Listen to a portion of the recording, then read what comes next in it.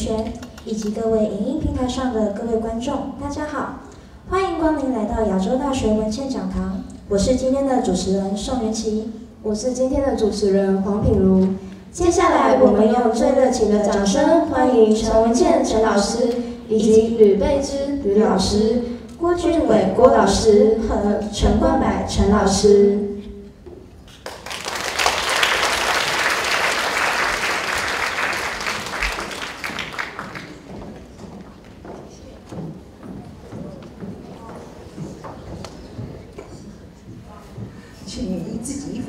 奇怪，往月那边这样。哎，掌声继续啊！我大家笑一下。哎，掌声继续啊！你衣服穿的没有他正常，所以请你往那边走。我为大家介绍一下，谢谢各位同学今天来哈。那我看到他们最开心的一件事情，就是我很高兴，我们的呃 young generation for me 对我来讲，对年轻的时代。你们终于把服装，服装是每天身体的语言，OK？那它代表你自己对许多事情的态度。在我的眼里，台湾是一个很压抑的社会，所以你看我现在这样，我是不是太无聊、太正常了？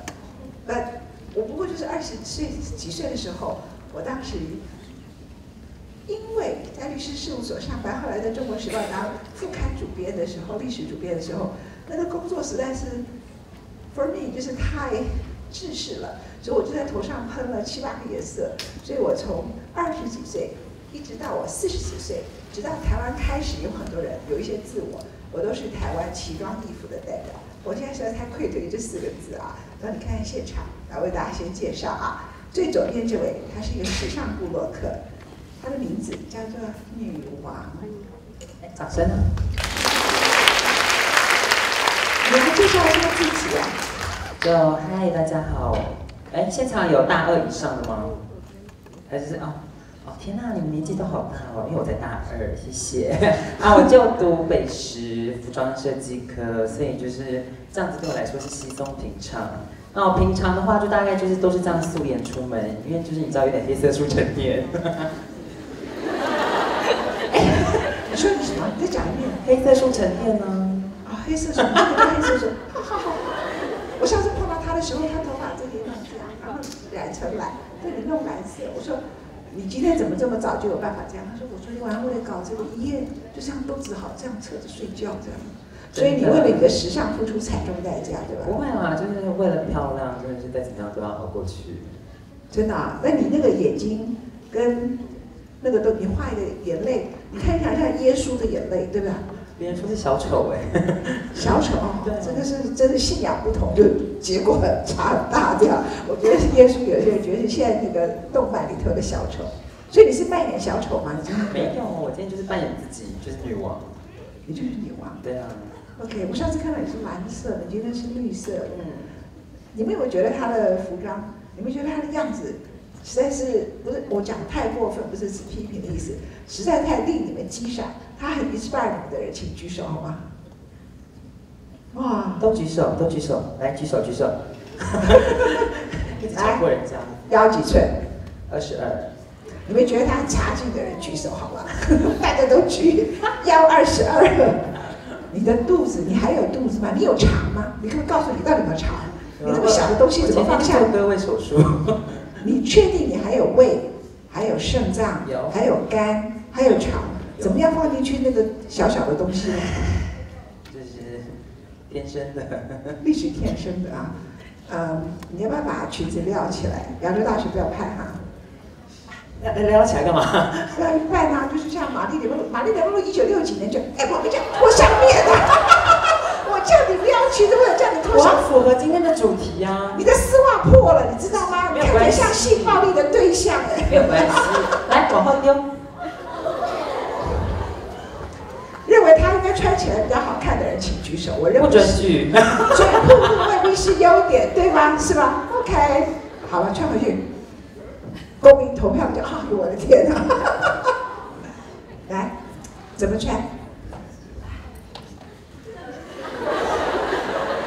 他他，我就因为他的高跟鞋实在是太高，其实他很敬业，你们会觉得，对不对？超级敬业。从台北让过来。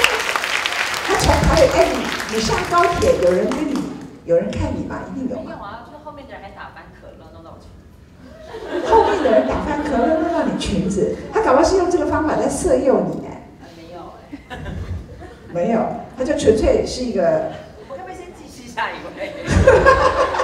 你们谁帮他一下忙吧？冠冕，冠冕帮一下忙吧，拯救一下女王。真的是好害羞、哦 你这个才想到害羞啊！I'm so sorry. OK, OK，好。我们另外两位都是从伦敦学时尚的，然后一位是学时尚行销，一位学时尚的设计。然后另外两位，我们先介绍一下贝基，他是一位时尚布洛克，介绍一下自己好吗？Hello，现场的朋友你们好，我是时尚布洛克佩基。他这一身衣服都是代表他是从。London, London Bridge is falling down。然后你从 London 回来的。对，我这一身行头是 上次去伦敦的时候买回来的。OK，它的上衣其实是一件洋装，它把它遮一半，下面有一个伦敦的裙子。然后呃，OK，其实你的衣服非常古典。对，我还蛮喜欢比较优雅、经典的东西。所以你从头发到脚看起来都像六零年代哇，我妈妈的年龄，对不对？没有啊，没有妈妈的年龄，妈妈的精神和妈妈的味道。对对对，就是妈妈那个年代，我妈妈你的阿妈那个。对，因为我就太喜欢复古的东西，所以我每一次去伦敦，很多人认识我的时候，都是例如说我可能会去一些 flea market 跳蚤市场，去挖一些有趣的古著，然后把它搭成自己的东西。就大家看我可能会觉得我很 fancy，可是其实呃仔细观察我之后，其实很喜欢把不同就是比较老的物件，把它穿出新的灵魂。嗯，把老的物件穿出新的灵魂。你今天这身衣服叫做什么？今天这身衣服吗？叫老伦敦的灵魂吗？我想。我以为你说 Christmas 的。啊，对对对，Christmas，来自伦敦的圣诞树。OK，所以这个礼节是你自己做还是他原来的衣服？呃，他原来的。对，好，我们第三位是在今年的台北时尚周里头受到最高瞩目的设计师，他的名字叫陈冠柏。冠柏好。大家好，我们先从冠柏身上这件衣服开始说起。冠柏的外套的左边，左边这里，不是要看胸部，是看看看外套。胸部也没有大。OK，这个外套是他的爸爸的西装，他爸爸往生前穿的西装，对吧？对。然后他爸爸喜欢穿一一八八一的那个牌子，是。Sir Rutis 嘛，对对对对，Sir Rutis 的西装，然后他就把他爸爸的西装配上牛仔裤。他有一个理念，他说时尚是全国，我如果背错你要跟着我啊。时尚是人类所有的产品里头第二大污染源。然后他认为做时尚的人一定要从这样的一个思考开始出发。所以台湾其实很多人不知道，台湾是全世界最大的牛仔裤的。纺织出口商都在台湾，然后他就去各个牛仔布的纺织出口厂商里头去找他们不要的废弃的最后的那些零头布，他就把那些零头布都找来，然后组合成他的时尚衣服。他还有另外一个 project，这个 project 就叫他现在身体身上的衣服就是这两个概念的结合，叫做故事衣。故事衣就是你可以把你怀念的人他原来的衣服，或是你把你们这一家。想要在一起，每个人就是交一个一件衣服出来，哪怕老衣服，他要干什么？他剪出里头的一部分，最后组合成一件家族的衣服，这么很感人，有哈，so cool 的。那你也可以把你从小穿尿布的衣服，到你现在的年龄，通都衣服都交出来，组合在你身上，叫成长的衣服，这样不同的故事衣服。那这个是陈冠柏，那他这个概念跟他很多人其实一旦走上环保的设计。那衣服就会很丑，可是他的衣服很漂亮。不讲你还以为说他是特别设计的，因为他的口袋，他会懂得把不同颜色的牛仔布做出一种风格。所以一旦你走上理念，那个衣服就充满了意识形态，所以他就会衣服是丑的，可是他知道衣服还是要漂亮的。就是陈冠文，我讲没有错，哪一个有错？没有错，没有错，谢谢谢谢谢谢。好，谢谢。我们欢迎三个完全不同的。面对他的身体、他的服装、他的时尚态度的三位来宾，请大家给他们掌声，介绍一下。我们的第一题目就叫“网红经济学，社群媒体的新世界”。谁说网红要穿的少？干嘛看我？OK，你有没有办法穿的多一点？你说我有办法？当你穿的多，你还有办法让自己……我跟你讲，穿的少是很容易引起人注意的。来，我先问你一下，你有办法让自己穿的很多还引起注意吗？可以啊，因为我走到哪儿都是焦点嘛。你走到哪里都是焦点。嗯，好，我们从这里开始谈起，待会儿请冠白跟贝吉来评论一下。我觉得女王最大的特色啊，就是他的自信。其实像你穿这样在美国的东西，it's nothing，right？Lady Gaga 已经是你的前辈，那每个人都在学习她。现在连 Lady Gaga 都从良了，就代表这一道已经变成是大家都会学习模仿的对象了哈。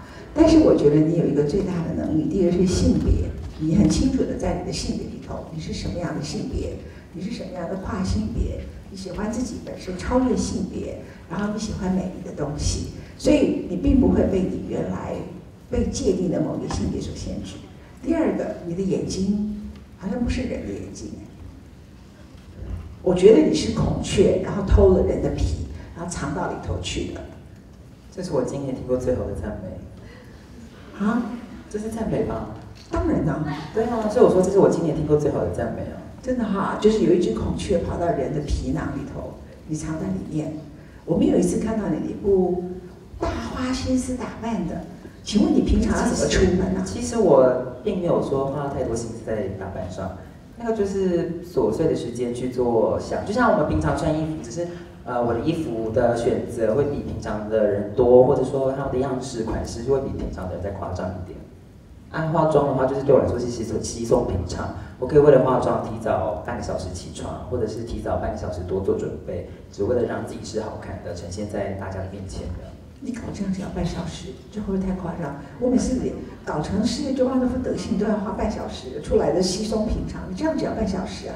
对啊，因为就是每天习惯，就像呼吸一样，很自然。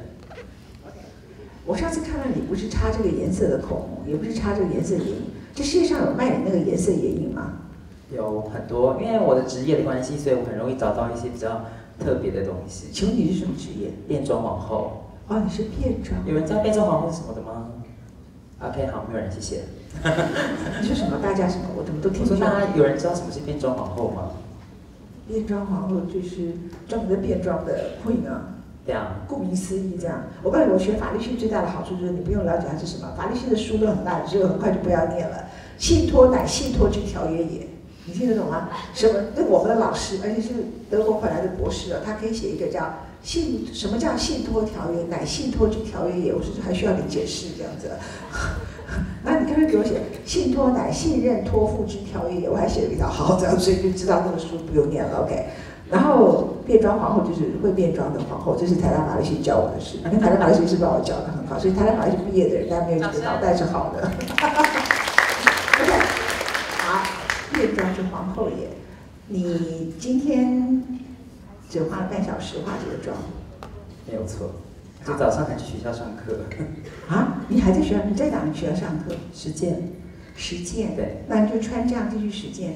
因为老师也稀松平常的啦，见怪不怪。我知道，我我妈，但是我以前认识很久以前北医大第一届的高材生，呃，他是一个被认为是剧场界的天才导演啊。那在优剧场前身叫做优人神虎前身叫优剧场，他最早的几个跟环保有关的剧都是这个阿才的导演，那个人叫阿才，他是北大第一届最聪明的剧场里头的奇才，他每天都搞变装。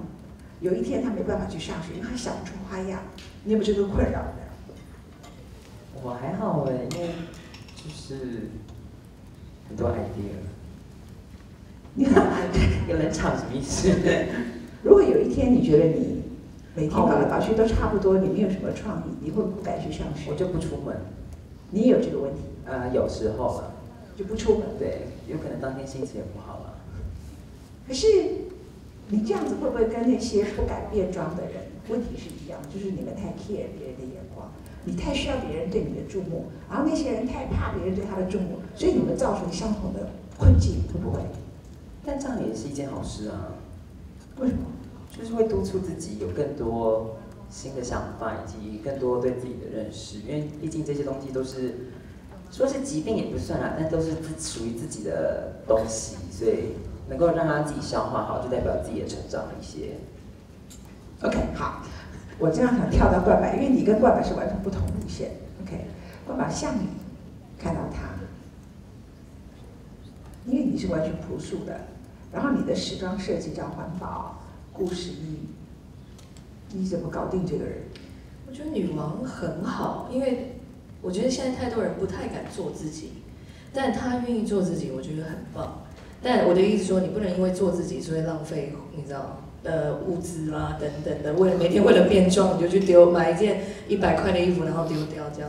但只要我觉得人有信念很重要，因为他没有信念，不是，我说他没有浪费，因为他啊上次我看到他穿这个破掉的网子，到网袜到今天还在。对我就觉得很棒啊。我上次看他说这也是破类似的洞，所以他继续穿。所以我们俩有一个同个信念是，我的信念就是要要习物，要不忘初衷。但他的信他的信念可能就是做自己，不害怕，勇于表现自己。我觉得这这是很棒的一件事情。那你如果叫女王去走你的衣服的秀，你要怎么办？我可能会针对她来特别设计一款衣服，是属于她的。比如说她的胸罩，你用什么牛仔布？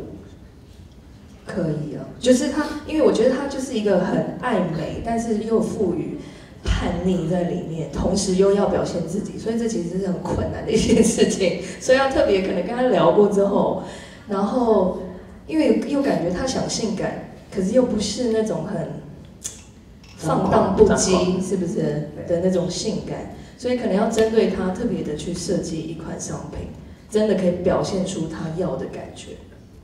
嗯，我觉得他的衣服，我随便乱讲，可以批评啊。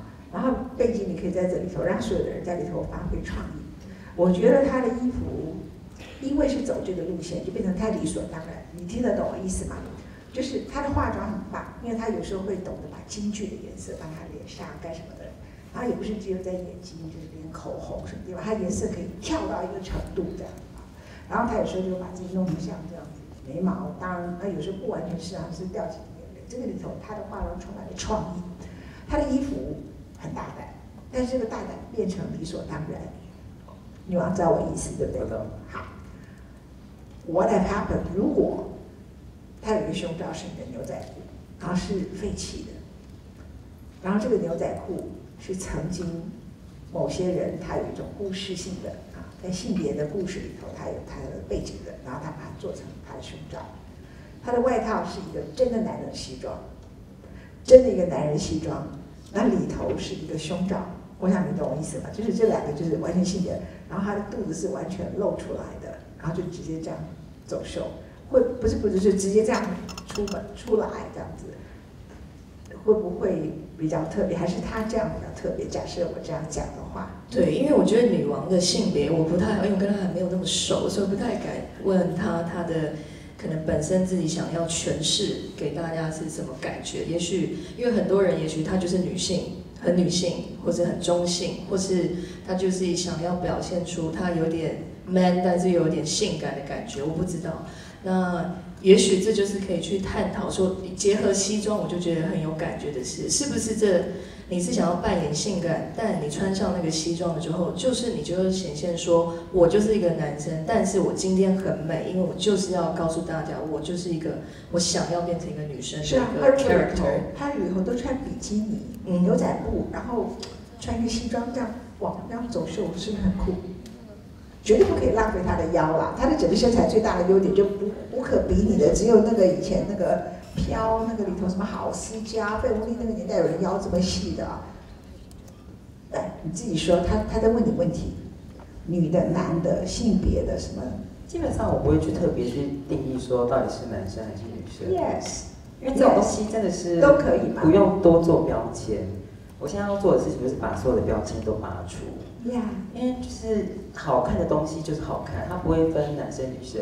像一件西装，如果好看，它不会说哦这个是男装女装，除非它的剪裁或者是它的扣子的安排之类的，或者是男生女生呃习惯性的开的地方不一样之外，其实好看的东西就是好看。它不会说因为哦你是男生所以穿起来特别好看，因为你是女生所以不好看。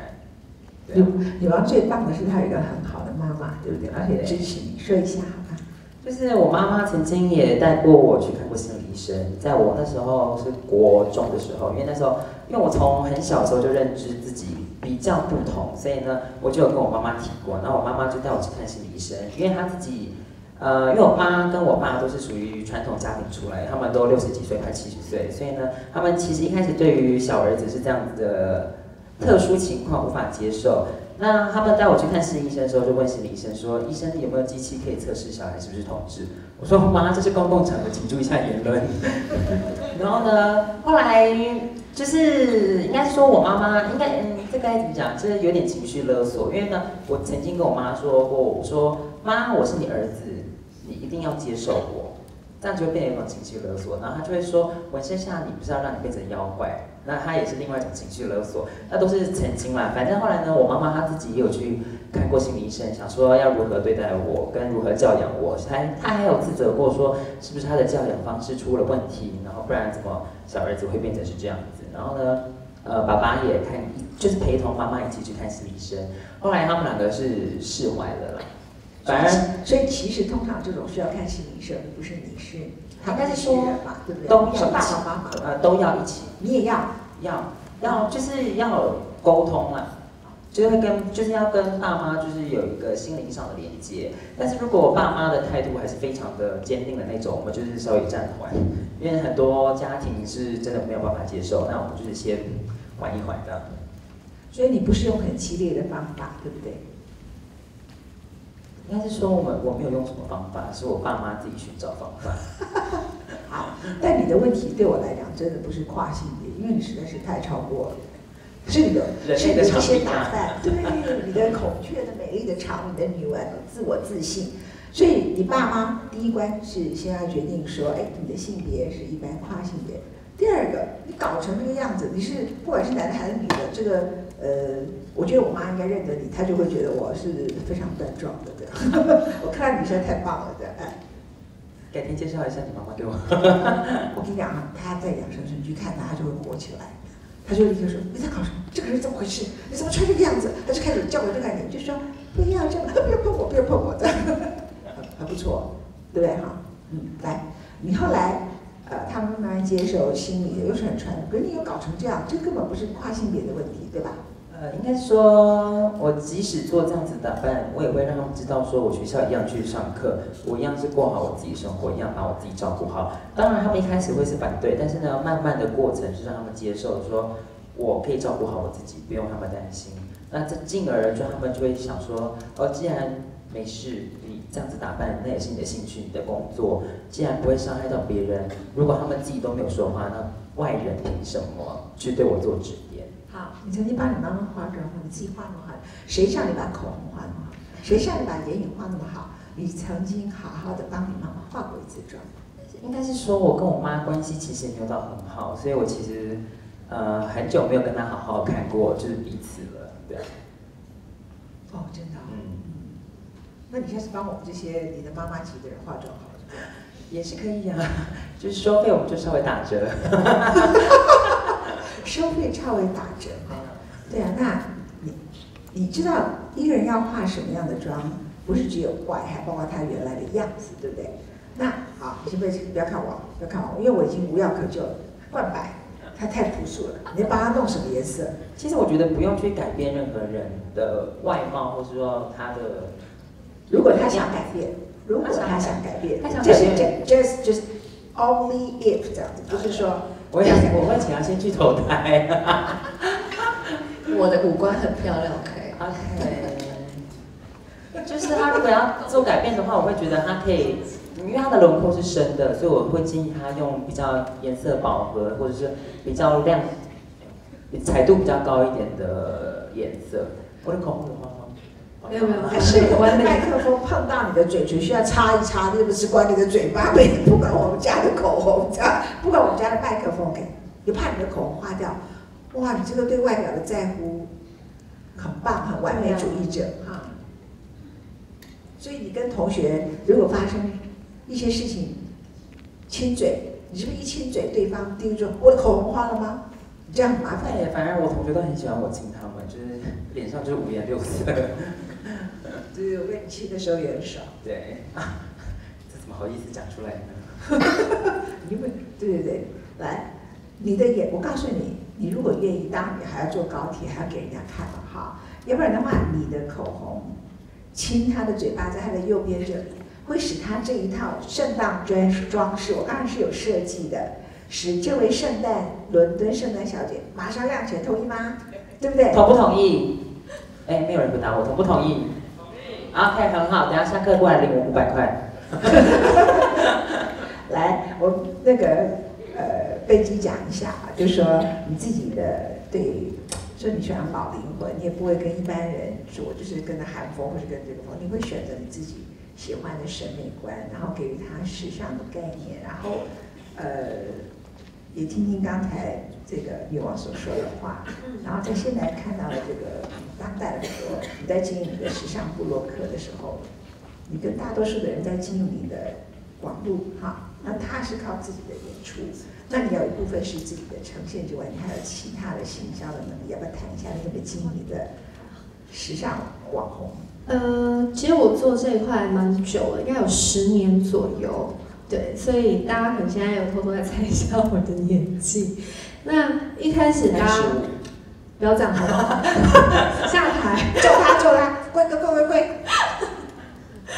有手跪着。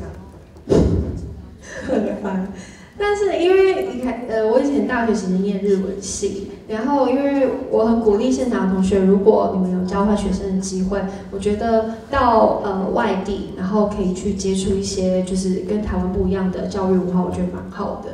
那我从就是在日本交换学生的时候，因为就是开始记录一些像日本的流行文化，然后开始很多人看我。那后来我转了一个很大的跑道，因为我很喜欢时尚。可是我又不想说专注于在语言这一块，所以我就去伦敦呃艺术大学念了 fashion marketing，就是所谓的时尚行销。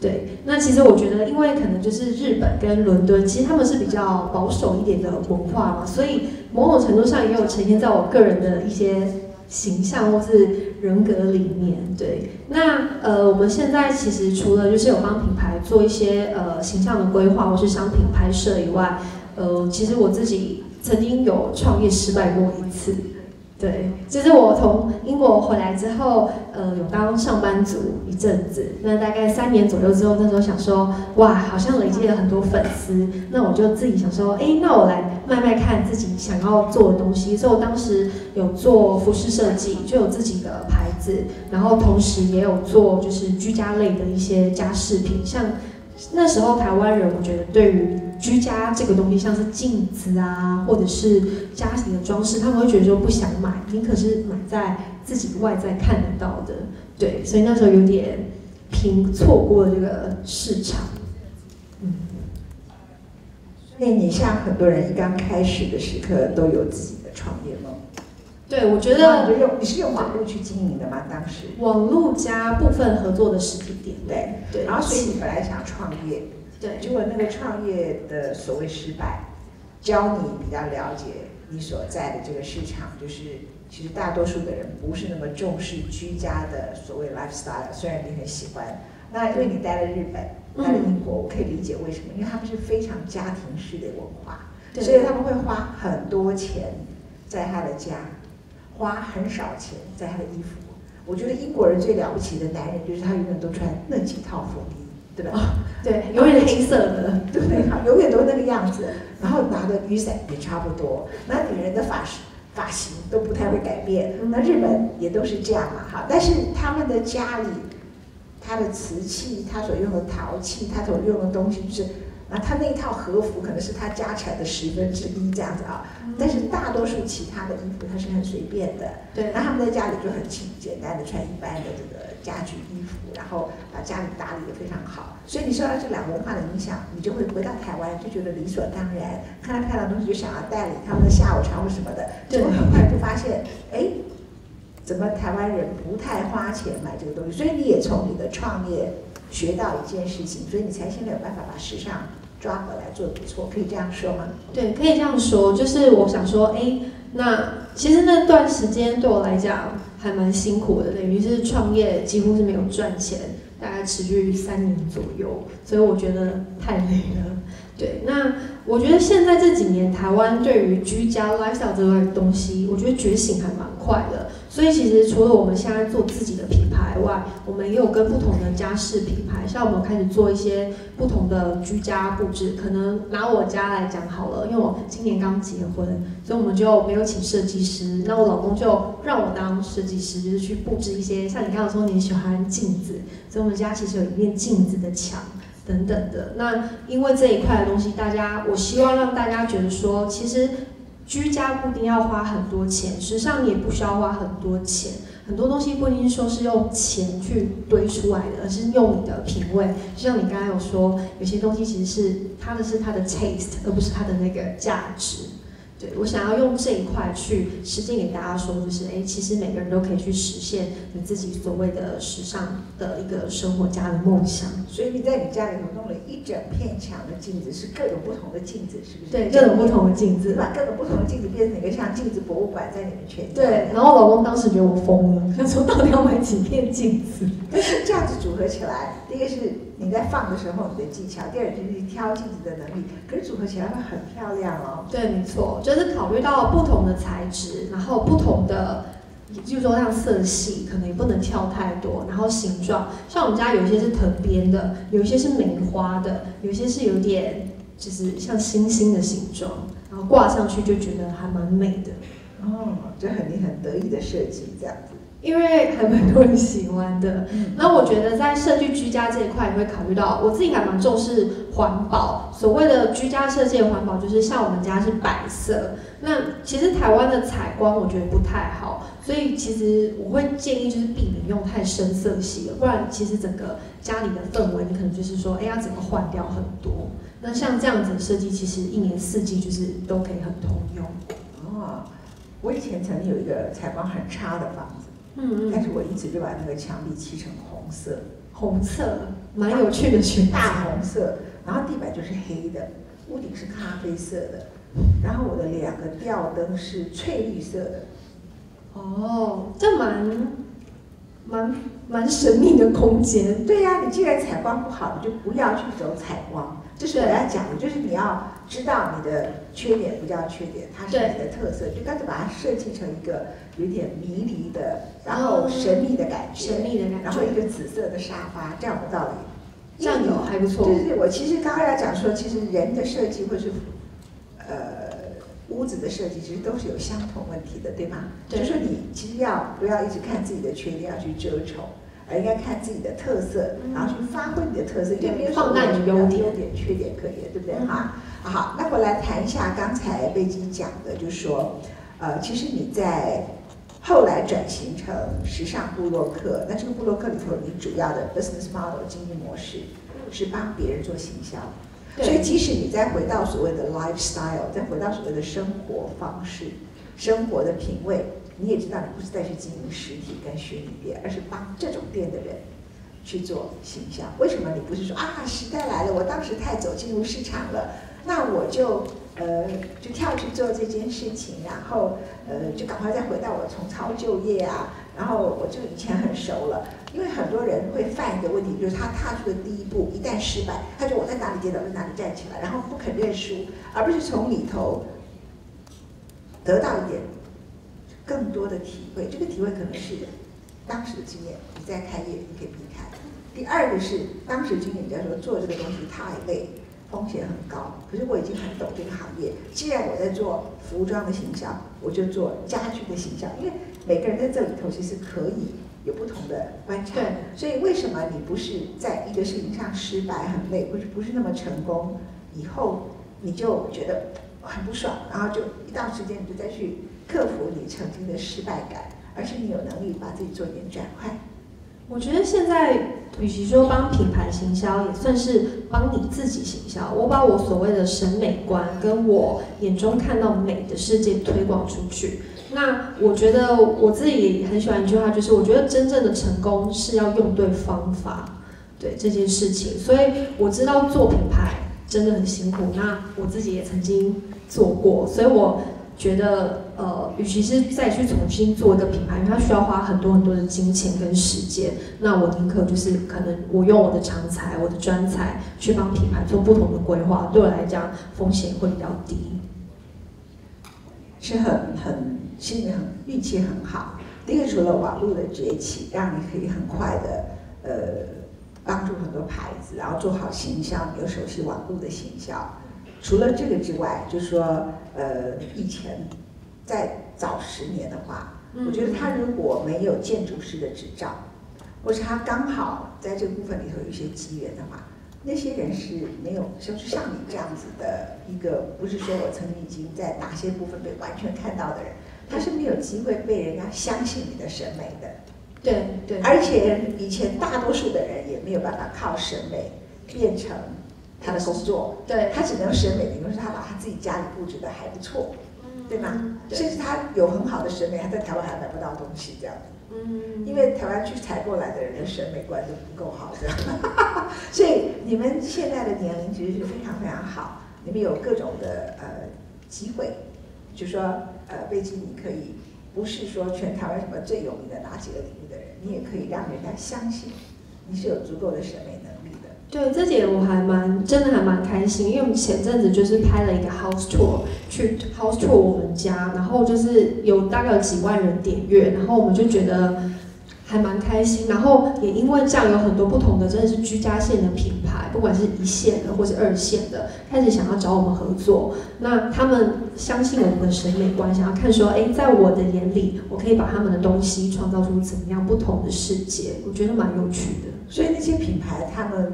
因为需要资金嘛，还有仓库，所以他们的年龄可能都远高于你，但是他们对网络的行销远低于你的能力跟对网络不熟悉，这样可以是这样说。再加上你的审美观，他觉得你是懂他们的东西，可是你也懂在网络上的行销的人喜欢他们东西里头的哪几项，而不是像他们自己想象，可以这样说吗？嗯，对，没错。哦，好，这是我们的第二位背景。第三，我们回到冠白啊，冠白你去走出这样一条好特别的路线。那在台北时尚周说，他们让我挑一挑，我们就第一个就看到你啊，其他几个人他们设计也很棒，但是纯粹在设计里头而没有后面的理念，或是光有理念而没有能力走出一条设计的路。你知道台湾有以前有很多很会选布的设计师，或者是呃蛮有理念的设计师，但他们可能在 cutting 在剪裁的部分，就是他的衣服就是布不够好看。或是布很漂亮，穿上去是不够好看的，诸如此类。我想我不是特指哪些人，但是这是以前的我们的问题这样啊。可是你的衣服就是在那个台北时尚周里头，就所有的人我啦，然后大家在挑的时候，就看到你一走出来，你的 model 所有的衣服都是挺的，然后都漂漂亮亮的这样，每个都非常 stylish 这样子啊。那感觉上就是好特别，就很好看。这个又发现这个背后有很多理念，大家就非常非常感动。可以告诉我们，跟我们大家分享，你怎么样走上这样的一个自己的创作理念、自己的创意，跟你走出来的路上，你的历经的过程，好吗？关白。啊，这真的是一个蛮辛苦的路程。就像我跟老师讲过，我们真的是神经病来做这件事情，因为 一个是作为时尚时装设计师，在台湾已经很辛苦了。那同那又要做一个比较有序的一个时尚品牌，那更辛苦。所以我们历经了一年半来筹备我们的牌子，所以所有的商品，我们的衣服都是在地妇女，而且可能都是需要帮助的妇女，她帮我们制作的。那这些妇女其实三十年前是跟台湾一起起来，经济起飞的一群很厉害的呃的的这裁缝师。那那我们很坚持要在地制造，很坚持所有的东西。我们这一辈子这牌子就只会用回收的布料、回收的牛仔裤重新再做成衣服。那原料来源我就要去回收山里面挖，或是我要去跟纺织厂洽谈。所以光是生产线就准备了一年半的时间。那东西出来了，我们是觉得很有意义的，但是消费者买买不买单，那又是另外一回事。所以我们的行销就要够强烈，或是够明确。这同时又要去找钱，因为做搞行销就要钱，然后做通路就是要钱。所以一步一步这样子，呃，我们也很庆幸的是，永续时尚这个议题在去年开始慢慢在台湾有发酵。那老师也一定知道，在欧美这个议题已经是非常盛行了，就像减塑在台湾很盛行，但在台湾还没有太多人知道，原来衣服已经是全世界第二大的污染源。所以很庆幸今年像呃文静老师他愿意来帮我们，哎，来帮我们推广这样的议题，就是可能。呃，或是我们的时装周，他也愿意来推广这样的议题。因为说实在，台湾的媒体，就算是时装界的媒体，他可能也是从今年才开始了解，或是愿意要推广这样的议题。所以我们很算也幸运。我觉得人真的，也也许你有九十分的努力，但真的还是要有十分的运气了。跟着这条风走，呃，慢慢的，我们也蛮从开店到现在，呃，从去年十一月开始卖，到现在才刚满一年。就已经蛮有蛮好的成绩，所以我们也就蛮蛮庆幸的了，真的感恩。是这样啊，呃，一般人在你的状况里头就会不断的抱怨，但是你就一直说很感谢。那呃，其实这种态度也会影响一个人历经创业的辛苦，因为他不觉得是辛苦啊，他觉得坚持理念本来就不是容易的事，也可能不会被看见，然后你觉得哦，才一年就被看见，就很开心这样。对，真的，因为我们当初第一间，我们就想说要怎么把这牌子打出去，所以一定网络绝对卖不好，因为我们的东西贵，可能一件 T 恤一千二这样，那一定要有一个实体店面，所以我们就把所有的资本额就砸去做了一个实体店面。在哪里呢？在华山的快呃玻璃屋一间快闪店两个月，所以那两个月我们消耗了回收的牛仔裤九百件，嗯，那我等于说我帮这个垃圾。重回了新生命了，那这也代表说，原来消费者可以接受这些回收的垃圾。所以很聪明的就是说，现在如果你不要一开始完全去租一个房子，签约很久，就先从现在所谓的快闪店，对不对？现在很多快闪店是帮忙这种新创产业的啊。然后你就在那个地方总共两个月就被看见了。那 next 接下来呢？接下来就开始很多媒体来报道，做专题。那再来，我们就去刚好顺风搭上文化局的这个呃时装周，那我们也被海选出来，选出来说是主推的设计师，就一步一步这样子。那呃，可能有很多的，我们也做批发生意，就是我们也做企业礼赠品，所以能让我们赚钱的事情我们都做，但当然都是要同样理念的伙伴。所以我们跟永丰银行合作，帮他们用回收的制服结合我们的牛仔裤，再做成媒体礼物。所以他们大企其实大企业最有能力来帮助解决环境的问题，还有一些弱势妇妇女的问题。所以刚好也就是都搭上。嗯，谈谈你这件衣服，你也就自己自我实践，把你爸爸的衣服做起来。那你家里其他的人看到你做这件衣服？我觉得他们一定会觉得我们家有个念时尚的人好棒哦，对不对？好，他把一个家族的故事说的那么好，这样哎，女王，你有没有觉得好棒？对不对？好，来你说。故事一真的，因为其实 Storywear 的牌子，其实我们常被 challenge 说，你明明就是要倡导永续时尚，你为什么还卖东西？你应该就是要倡导不卖东西。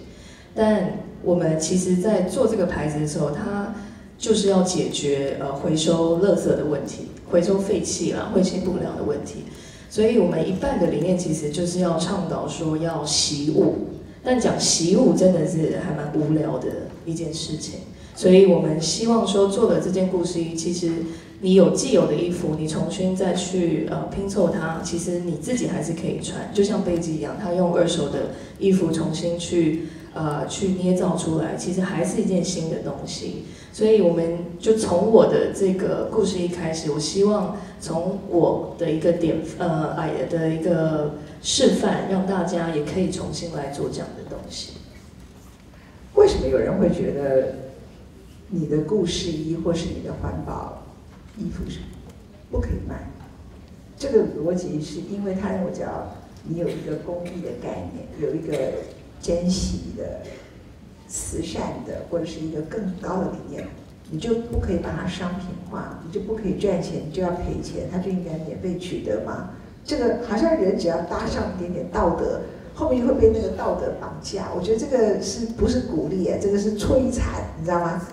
就是我觉得台湾现在有这种问题，就是说，如果这个人他在以追求资本主义的利润为核心，大家都觉得是理所当然，甚至会很崇拜在那个企业领域或是经营理念里头赚大钱，然后可以帮大家创造很多工作机会，也是一种贡献。可是这种人他不会受到太多的道德批判。最容易受到他的原是反而是很多慈善跟公益机构，他只要好像地毯上跑出一根蟑螂，你就说他这个屋子都是蟑螂，他不能有一点点瑕疵，甚至不见得叫瑕疵，是你对这件事情你可能有不同的意见，那他从他的逻辑意见来讲，其实也可以行得通。简单来讲，你就是在神父身上挑他有没有长湿疹这样子，OK，然后你就怀疑那个神父的湿疹可能就叫性病。那所以因此就变成，我发现，在台湾做一件有道德理念的事，是一件危险的事。因为当你一旦做比较有道德的事情，人们就说：“哦，你想得到掌声。”接着就用很高的标准去检验你。那一旦他认为他认为不是真的，他认为你不符合他期待的完美道德，所有的攻击就随之而来。哈。所以我刚才是顺道讲这件事情，不是只有你的衣服，因为资本主义本身有一个非常重要的逻辑，它被认为是优越于共产主义的，就是说它可以透过创造利润这件事情推动文明。当然，我们知道资本主义并不完全是如此。好，资本主义它可以提高效率，鼓励发明，它可以做很多人们觉得是正面循环的事，它又有它。贪婪的一面，那冠百刚好把资本主义的某些优点带进来，我们称这个叫社会企业，就是他对这个社会里头是有责任感的，但还是一个 profit 的企业，因为你只有以利润为中心的时刻，他还是照常卖衣服，那对很多人来说，我可以买一个东西，它后面是有故事的，一千二的 T 恤或干什么的，呃。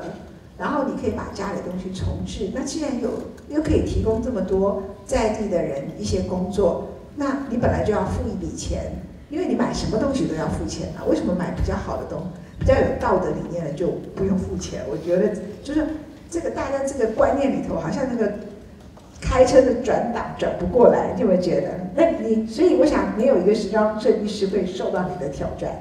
只有当你给予时尚一定的使命感的时候，你就会受到这个挑战。没有其他的服装设计有人说你为什么卖衣服？你当时会不会觉得这个提问你很受伤？会，我会，因为我我我，但可能我个性，我就觉得来就来吧，然后我都接受。因为其实我们在走时装周，我的理念本来就是我要告诉大家，时尚产业是世界第二大污染源。那这其实有点争议了。你要在时装周里面讲这件事情，其实蛮矛盾的。他们可能会觉得其他设计师可能觉得我被受攻击了等等的，然后新闻稿会怎么写，大家会怎么说？但其实所有的欧美的媒体都在报道这个事情，为什么他们不害怕？台湾媒体要害怕？那那我会说服他们的是说，他们在说的是这些廉价服饰，然后快时尚所造成的问题。不是在说我们正轨的这些设计师，他们会挑很好的布料，也许是这种比较天然原始的布料来做成的衣服，这也都，或是他保护劳工，他很在乎劳工权益，这也都是永续时尚的一部分。所以你不需要为了这件事情被打击，或是觉得威胁。如果有一个呃狗仔队跑去就是随便访问一个帮你工作的女性，然后她可能刚好心情不是很好。需要去看心理医师了哈，那刚好女王又没有带他去，然后呢，结果他就接受访问的时候就踢到你说，哎呀，他们说什么要给我们在地的妇女永续经营，他根本就是血汗工厂，也刚刚呢，因为这件事也在发生在台湾，就是在网络界。然后如果你的，我觉得我如果跟你一起走时尚周，假设我是一个服装设计师，然后我就突然看到你后起之秀很快的窜起。被海选出来，而且我就觉得以前我是呃以为我自己是很高尚的品牌，可是跟你站在一起，我是在道德里头就弱你一点点，那我心存不满，那我就去找一个人来攻击。我们上次上课有一个雅虎很厉害的专案经理叫魏明，他以前做的工作就是网络行销。那他告诉我，其实网络行销这个名称背后，也就是现代网军。那他有所不为，当然他也开玩笑说是接不到。他不做政治的网军，但是他们做很多商业网军。然后所以他因为以前他们有二十个人就可以变成网军团队，他有很多的经验，因此他就发现很多在商家网络里头出现的所谓那个董事长发了一个言论，一堆攻击出来，他说那个是网军干。因为没有正常人需要对一个出自好心讲的话，即使你看了不舒服，有一两个人可能会有不同意见，可是不会有这么多排山倒海的留言，那就是王军做的事。好了，那我去买一个王军哦，这二十个人的网络行销公司，不要多少钱，然后就看你在台北时尚周，还好我们台北的设计师没有做这个事哈，然后就攻击你的品牌，然后就去挖这个事情，那你就百口莫辩，那你会你怎么办？你继续红下去，说不定有一天还真不知道，但是我只能说我凭良心做事。但因为其实我们的所有衣服上面都有个身份证，明确的告诉你说这件衣服做了几个小时，原料来源是哪里，然后手工签名的裁缝师的名字。那这裁缝师有些妈妈真的她就是会过于好心，明明一件衣服只需要做可能六个小时，她就写偏偏要写个十五个小时。他觉得这样，他就是代表我很用心。那对我来讲，我也很感恩，我会觉得，哎，你你这样对我很好。但是就会有人会觉得，那你是不是血汗劳工？你让他一件衣服做十五个小时，然后你才卖呃三千块钱，那你这样不对。你分你分他多少钱？你赚多少钱？全部通通都一起算账，全部都算。但我也只能，我我真的我也没办法真的去辩驳什么。如果真的哪一天这么红了，有人愿意这样来攻击我，其实也是好事，代表我有有这么一点红了。那我百口莫辩，我也只能说我可能可以让这些协会来帮我解释一下，因为毕竟我跟协会们的关系都很好，妈妈也很爱我，所以我也只能这样子嘛。有啊，你有什么？我觉得你是身经百战的。你觉得怎么办？如果你你帮冠白在这，假设你在帮冠白，基本上我就是不会多做任何解释，因为你再怎么解释，就是还是会有人恶意的去攻击你。他们是现代人，你要听哦。那个魏明就说不讲话，你只要讲话冷处理，冷处理就是唯一，因为那是网军攻击。对，你只要解释，他们就会找到你的话的破绽。你妈妈很爱你，难道我们没有妈妈吗？就不回应，不讲话。你要辨别是不是真的评论、真的挑战，哪些是来恶意的，这是现代经营网络经济里头很重要的一项。根本就是为了反对而反对，或是他根本就是为了为了其他的人家给他钱，他来攻击你。这个几率其实，在台湾现在非常非常的高。那台湾因为整个 PTT 的文化，然后网络市场并不是那么大，那所以。池子小嘛，所以网军二十个人就可以毁掉你几年的努力。我觉得这件事情真的蛮恐怖的，因为你有这个感受吗？有哎，我还蛮明显的。我自己是没有那么常被攻击，但像前几年有一个叫做靠北布洛克，不知道现场有没有听过。现在有很多靠北什么什么什么之类的，但第一个起来就是这个很恐怖的平台，那它可以让所有的人呢都匿名上去讲。任何一个人的坏话，那因为这个平台当时就有一个艺人，其实他比较像艺人了，他叫 Cindy，他就过世了。那他因为他受不了这几个网军，应该是连续一两个人一直在攻击他。那其实我自己觉得蛮愧疚，就是因为在他自杀前一个礼拜，我还有就是在某个活动时候看到他，可是他看起来就是这么的开心。可是你就会觉得说，如果你有替他伸出援手的话。我就觉得自己会觉得内心比较好过一点，所以后来这个品牌就整个刷掉。对，谁的平台是靠北？这个靠 靠北部落，对，靠背就相当了这样。对，就因为 Cindy 自杀，大家攻在反攻击靠背对洛克，因为大家想要去知道说这个东西，因为其实包含我自己也有被写，但因为我可能不是这个圈子领域最红的人，你最红的人真的是最容易被攻击，因为会有很多人眼红，可能就是那两三个人。那因为像一些，我觉得现在网络上有太多不实的留言，那当时我有时候波及，有些人就在下面说，哈，我看不出来是这样子的人呢，哈，真的吗？那原本原本没有受到这些言论影响，看完也会对你产生一些负面的观感。然后那时候每天粉丝团可能就流失个大概，应该每天掉个三四十人嘛。对，其实是很恐怖的。我觉得像这样子的网络留言，所以如果就是因为今天讲网红，如果想要做网红部分的话，我觉得对于嗯别人看你的眼光，还有网络上的那些言论，自己要有一些嗯强强大的心智吗？自己要有办法定夺了。对，自己有办法定夺，对，真的就是做自己。好，女王，有些人在经营网络，尤其像你这样很很耀眼的人哈，他每天起来会看我增加多少跟踪者，作为我今天的成就，好像我的储蓄一样，你知道吗？就以前逃难的时候，大家说我今天增加存款多少钱，那现在变成另外一种每个人自我肯定的一个 index 一个指标，就我今天增加多少网络的 followers，我这个月增加了多少，那我什么时候掉了多少？How to verify 哪些会增加，哪些会掉？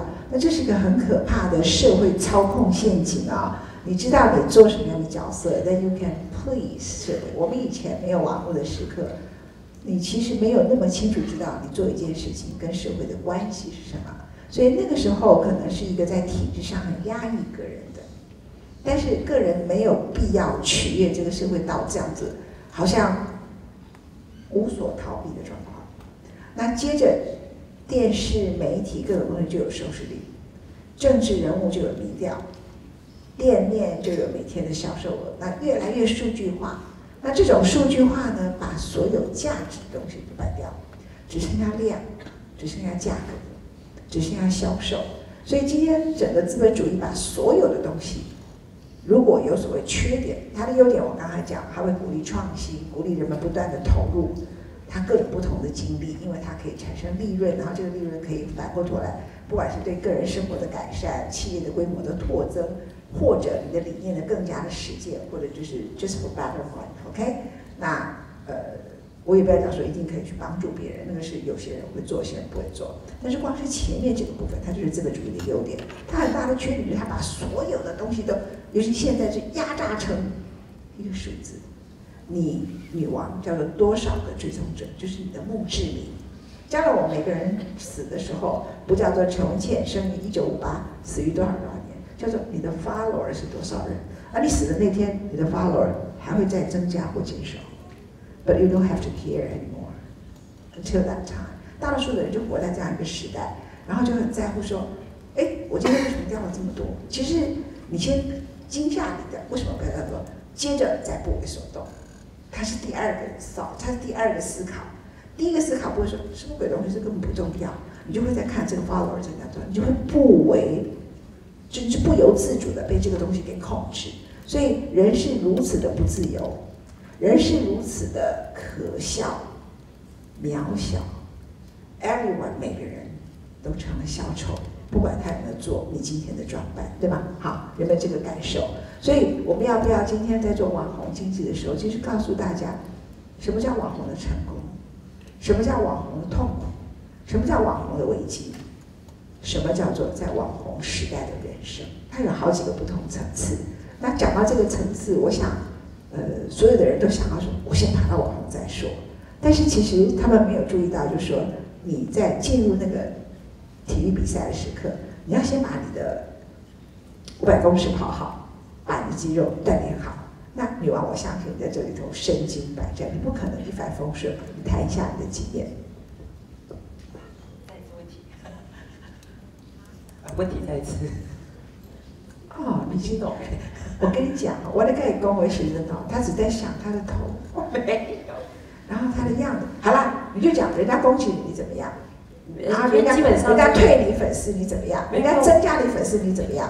我我目前还不会到真的去 care 那个粉丝数之类的，因为我现在也还没有多到就是会掉多少会让我心痛。对，所以我因为我现在目前就是专注在学业还有自己的工作上了，所以少反而是一个幸福，是吧啊，应该说我不会去关注多与少。？OK great，就是已经到了一个境地境界。你比较在乎你的腰围多与少，对吧？对，就 对，你每天量你腰围吗？不会，我会每天量体重啊，啊、那你怎么锻炼你的腰围的？因为我就是不健康的减食，就减肥法，就可能一天吃一餐，或者是周末的话就两天吃一餐的。我听到倒倒抽一口气，Yeah，但大家就是很不健康了，大家就不要学习。对，你就你继续活下去，当我们大家呀一声就好了，当你的 follower 就好了，这样好。那面对攻击的话，我是真的是不会在意，因为我真的从小就已经备受攻击，所以我才问你这个问题。什么问题？就是你备受攻击啊！前面的问题就，我就我相信你从小就备受攻击啊。我看你根本人家在攻击你，根本就少一条筋，只在注意我口红掉了没啊。所以人有一个好处啊，他如果每天都在注意他的口红掉了没，他就忘记有人在攻击他，这样对吗？对，或者说有可能我会故意去忽略，然后把它变成是一种称赞。好，给你选择题，你的口红碰到这个啊掉了，你的口红跑出来了，这件事情比较严重，还是有人在攻击你？当然是前者，因为攻击我真的是不计少数，我真的不会在乎。但是口红好不好看，那真是我的重点。啊、那你的丝袜破了比较严重，还是被人家攻击比较严重？当然都是以整体我自己个人为先重了，所以别人攻击我就是想说，哦，就是有人在讲话。听到没？你们只是在讲话，这个态度很。记住啊，冠柏听到没有？好我谢谢你，我知道有人在讲话。你今天不是一无所得哎，你有没有觉得？记得有人在讲话，那个人可能是匿名的、奇怪的人，但你不要再追究，就哦，有人在讲话，但是因为越追究你，反而会越越让自己陷入那个泥泞中，然后你就会觉得啊、怎么那么多人在骂我，怎么那么多人在批评我，然后你反而会越陷越深，然后你到最后反而会过得更不开心，对啊，所以我会觉得就是过好自己的生活，自己开心就是最重要啦。因为像我这样子的打扮，就是呃，因为我算是很就是我没有表情的时候很凶啊，所以我个人是不会遇到有人敢当面骂我，他们都是在背后可能是留言或什么之类的。那基本上，假如说有人真的敢跟我对，就是骂我的话，我也我也会直接跟他面对面的，就是起争执，因为我是没有在怕的啦。你凭什么把自己的眉毛画这样？我在骂你了。哦，真的吗？啊，你看，我没有 feel。没有，我想说，我以为你是认真在问问题，想说需不需要我教学？我告诉你，他其实不是来自于他的智慧，是来自于他的天分，因为他就是 I just don't care 这样子啊。我跟你讲，你的眉毛画的很长，你虽然化妆眼睛画的很好，口红颜色挑的很好，可是连眉毛的头画的根本就是不对，然后那个整个太硬，你自己上化妆技巧大有改善的空间。我懂，因为确实，因为我化妆技术是呃，应该说我化这样子的妆是今年才开始化的，所以我当然还在做进还在进行学习，所以一切的指教，如果是真的有用的指教，我会接受它，然后反而会谢谢对方提出来，我是乱讲的，然后 早说嘛，害我紧张了半天。我今天有漂亮吗？有吗？有没有？好好好，哦，很好很好，你在实践念什么戏啊？搞笑戏啊？没有啦，服装科，啊？服装科，服装对啊。啊，OK，那你的老师一定太喜欢你了。哎，还好哎，就啊因为我有时候会太过于专注在自己的打扮，然后就忘记做作业。That's possible。对你来说，今天擦好口红比今天把作业做好重要，对吧？对啊，或者说有可能我在美感的部分跟老师有起比较多的争执，可能他觉得说这样子会比较符合现，就是可能评审的口味或什么之类的，我就会觉得我就是想要这样子做，然后我们就会起争执，到最后我还是会做我自己的事情。哎 我现在不止对你的脸有兴趣，我对你那个戒指超酷。你的戒指是啥？就是嗯，它算是水水晶嘛，就是很大一颗，很漂亮，爸爸有没有觉得很漂亮？很好看。它撑不起来啊。就就在在复古当，就是有一种复古味道，然后对大颗亮亮的，然后它的整个就跟你的那个胸针的繁复完全不同，它做的很简单，然后非常有力你量。只能有一个重点，你重点，那为什么你重点是放你的胸？你没有胸部，你应该放你的腰啊。啊，可是因为腰被挡住啊，而且因为胸部刚好可以挂在胸罩上面，所以就是重点会集中在这里，就别人一看就哎，我看到好漂亮的。OK，你不要觉得我在冒犯你，我乱问问题，好吧没有，就我们被冒犯的太多了，所以当那真的是小儿科。？OK，好吧。你嗯，你为什么没有去融入？嗯，因为我目前还没有要做这么完整的变形的手术，因为我身边身边还蛮多姐妹，她们是真的是隆乳，但是下面依然保持就是存在，她们会觉得那样子的她们是最自在、最舒适的。那目前我觉得我对我自己现在身体这样子的存在以及呃样子是舒适的，因为我觉得舒适就好，你要不要告诉我们很多平胸的女人，平胸的好处是什么？就是穿衣服会有时尚感，因为有时候太巨大的胸部会把衣服撑坏，或者是说会把那个形状会跑掉啊。哦，所以现场应该会平胸吧？你说什么？啊，没有，我刚刚什么话都没说，很很紧张。乖乖，你觉得？平胸真的，我真的有碰过我的很好的朋友，会因为平胸没自信，然后她觉得她对不起她老公，然后穿什么都觉得，她都觉得她就是没有自信到一个明明长得非常漂亮的一个女生，但就是因为没有胸部，所以没有自信。所以平胸真的有一个优点，她穿什么都好看。因为如果女生有一个厚度的话，像我本身就是有点厚度，虽然我没有胸，但我的肩膀比较宽。她穿就是挺不起来。如果你身高又再高一点，平胸，所有的 model 都是，你看每一个 model 大概可能可能胸部也比你小，就真的他有那个时尚。胸部比我小还得了，台北盆地了，我跟你讲，你是台北什么？台北盆地。台北没有，我没有，我我应该要讲的是，现在已经是二零一九了，大家真的是要拥抱自己的身体。就是呃，如果是朋友之间开玩笑 OK，但是如果不熟的人或者是嗯，真的不要对任何别人去做身体上的评论，因为这真的是非常不礼貌的事情。大家一定要学着去尊重别人。而且还有一个重还有一个重点就是，你如果平胸的话，别人的重点就会放在你的衣服上了，就不会被其他两个脂肪的部分 吸引住。那里头不是脂肪。啊 当然还有别的东西啦。OK，我们今天是在帮平胸证明这样。呃，有一次有一个很平胸的的女人，OK，她就就是哭诉跟我讲，我就说，OK，呃，你很 care 你的平胸吗？她说对，我很自卑。那我说你自卑的理由是什么？因为如果她是有婚姻上的问题，我就会跟她说，你有两个选择。一个选择就是你也不用讲每天自我对话，因为现在的隆乳技术很好，而且不像以前的隆乳会有细胶导致乳癌，现在隆乳技术很舒服，而且以前呃不是我啦，我有一个女性的朋友，她也是一个平胸的，她就在一个整形外科上班，她说哎呀，她一生就是她也搞不清楚自己是女的还是男的，然后她后来就嫁了一个很像女人的男人。啊，然后后来他们两个真的去做呃身体健康检查，她的老公就呃因为在高科技上班，薪水比她高，所以老公就先坐下来听医生的报告。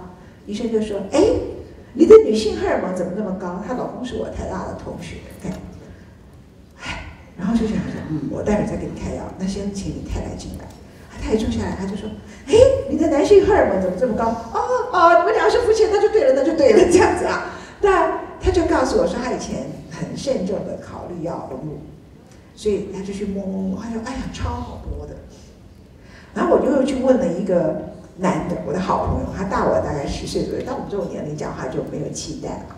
他曾经有一个女朋友是台北市最有名的演艺界，然后经常当时最有名的演艺界的女明星。然后他经常以铺路，然后拍裸半裸照的照片，然后 sexy 的不得了。然后他的胸部是做的，我就问他说，哎，到底从你们男人角度来讲，摸一个真的跟摸一个假的有差？哎，我告诉你实话好了，摸起来没差，好。所以我就给那个因为平胸在跟我哭诉的人，就是我给你两个建议。因为现代的整形手术，如果其实人要超越很难啦，哈。那你说像那个卢广仲讲天然的雄厚，没有这回事啊。所以我就跟他说，你有一个方法就是你去做整形手术。第二就是你不想做整形手术，那你的老公就嫌弃你，你就跟他离婚。因为他对你的嫌弃已经造成你的自卑，而且他会嫌弃你，表示他跟别人的关系过度的肉体化。那这个东西其实你的婚姻拖下去的话，他对女性跟另外一个伴侣的需求，可能一直都是跟身体比较有关系，所以他外遇几率很高。那你在这个状况里头，你还会有未来的风险，OK？所以你就干脆自己主动提出要离婚好了。所以你有两个选择，第一个是做整形手术，第二个就是跟他离婚。那平胸有一个好处就是你很快就可以分辨，到底那个爱你的男人他爱的是你。还是你的身体。如果你是一个丰满的女人，你还分不清楚哎，对吗？你根本分不清，你以为他爱的是你，结果爱的是你的身体。结果有一天，当你身体老去的时候，他突然不爱你，才大惊小怪，你根本搞不清楚他爱的是什么。所以平胸是一个很好的 checking point，我就跟他鼓励哈。那他后来想了半天，她就跟她老公讨论，她说：“我建议他，要不然去隆乳，要不然就离婚。”她老公吓坏了，从此就对她非常好，都不敢讲话，这样这样。然后她就隔一段时间说：“哎，我们要不要离婚？”她老公说：“不用不用不用不用。”她说：“那我不去离婚，不用不用不用不用。”然后呃，好一会这个事情到了一个年龄以后，她又开始提这件事。我说：“你为什么提？”她说：“这是我一个终身的自卑，因为她在乎的已经不是她老公，而是外面人的眼光。”我说：“你呀，想不清楚。我跟你讲，平胸的人穿衣服好看。”你到底这辈子有跟多少人是要脱衣服的？你要脱掉衣服才会注意到你是平胸还是丰不胸满，人们才会去注意这件事情。其实平胸的人穿衣服远比丰满的人穿衣服好看，慢慢讲，对吗？哈，我是这样的对背景对。同意同意。对呀，那所以你真正的风险只有在你脱掉衣服之后啊。请问你机器人是不是更加好贵了？快来，你赶紧去签错，我这样讲对吗？有没有？对我说，到底你你已经就说你到底准备脱衣服给多少人看？你要这么 care 你这件事情，我就跟他说，要不然我跟你交换好了。我很困扰，我在穿衣服这件事情，我头很痛这样。就是呃，他就说你不了解我们这种贫穷的痛苦。那其实我知道这种感觉，那个真的是对自己自我的要求。因为像我有时候，我之前有一阵子变胖的时候，我曾经想说要动手术抽掉肋骨，跟那个做那个割胃手术。这会变得有点病态了啦。我觉得如果真的那么在乎的话，财力也够，真的可以去做。毕竟是满足，就毕竟是自己的身体，满足自己对自己的呃需求及你讲的对，我告诉他说，平胸有救，丰满没救。因为我对丰满是我看起来胖，其实我没有大家看到的那么胖。那我要把它抽小要怎么抽？我要抽小要怎么抽？因为没有一个生医生要帮你做，除非得了乳癌，谁要帮你割啊？而且割的下场很惨的，因为他也不可能割一半，他割掉全部，然后全部挖掉，这是很恐怖的事情啊！谁要搞这种事情啊？对吧？所以，哇，平胸有什么不好？我讲了半天，一路一路解析解构完毕，突然觉得，哎，在场胸部丰满的人请举手。啊，我看到怎么有看到？哎，有一个女孩，有一个是你举手啊。但你是胸部丰满的，哦，谢谢，这种很有自信。我们在场只有一个人举手，你们其他胸部都很平吗？男的，男的你怎么没有举手？男人都是平胸啊，你们没有？男人，你有没有意识到你们都是平胸？那你们觉得很在乎你们的女朋友是不是丰满？你怎么没有看到你的女朋友可能也很在乎你们平胸的？OK，至少你们有六块肌这样。最近台北市有一个是立委候选人，只因为他身上有六块肌，哦。这样很多人就说想做吴太太，我的妈呀，这样子，这个也你知道，男人也需要胸部，这样对吧？好，来，这个你再举手啊，没错，没错，你刚才一直感叹你也喜欢那个立委候选人啊，啊，真的很可爱。讲，我们讲的是同一个人吗？吴一农啊，你就很爱他。对啊，他真的好可爱。你为什么喜欢他？因为他就看起来很憨厚老实啊，然后身材又很好。身材又对啊，谁不喜欢身材好的？喜不喜欢？而且是男的，唉，真的是很可口。很可口。以前我跟你讲啊，我们很久很久以前，我曾经讲一句话，哇，那个人气炸了，那个人的名字叫做马英九。他们就问我，大概在一九九六九七的时候，他们说你对马英九的印象是什么？因为他当时马英九是很帅的小马哥，好多人都好迷他。然后大家都招架不住，不管是绿军的、蓝军的妇女票上面都招料料这样的，然后就说你对马英九的看法是什么？我说我很喜欢他，他是我最喜欢的男性政治人物。他就看着，因为我跟他不是完全政治立场一样的，所以他就看着我很吃惊，然后就问我说：“哦，他是你？”我说：“对。”他终于证明男人可以靠美貌取得权利，他气炸了马英九。然后吴一农终于证明男人可以靠身体取得权利，right？这很棒，OK？你也很希望嘛，对不对？很可口哈，对啊，好吧？对不起，轮到你这个话题，这个男人终于慢慢的向女人靠拢，他会觉得很棒。那男人也开始重视时尚，这个世界越来越美好，这样其实贝芝身材也很好，被从侧面看就是会有喜马拉雅山。我刚才是不好意思举手。我觉得刚刚有讲说平胸会很自卑，那我算是比较，我还有自己举好了，丰满的，对。那我自己也曾经还蛮自卑过的，因为我知道现场可能大家对于自己胸部尺寸会想揍我，但因为我觉得现场现场的同学应该对胸部尺寸都还没有任何概念。哦，